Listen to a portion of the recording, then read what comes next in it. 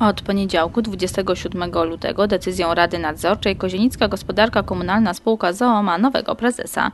Andrzeja Junga zastąpił na tym stanowisku Robert Wojcieszek.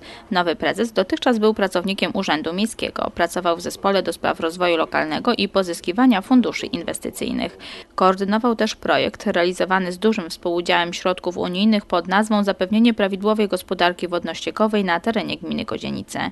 Jest też radnym w Radzie Powiatu. W skład zarządu weszli także Andrzej Jung, który jest też wicedyrektorem do spraw ekonomicznych i rozwoju oraz Andrzej Skrok, wicedyrektor do spraw nadzoru technicznego i inwestycji.